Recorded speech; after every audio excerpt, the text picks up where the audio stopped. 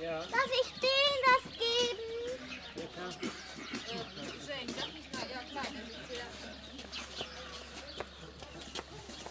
Kann ich Und ihr habt selber eine Dose.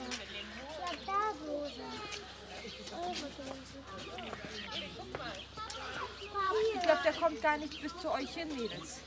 Schmeißt ihn das mal dahin. Und nicht ihn an.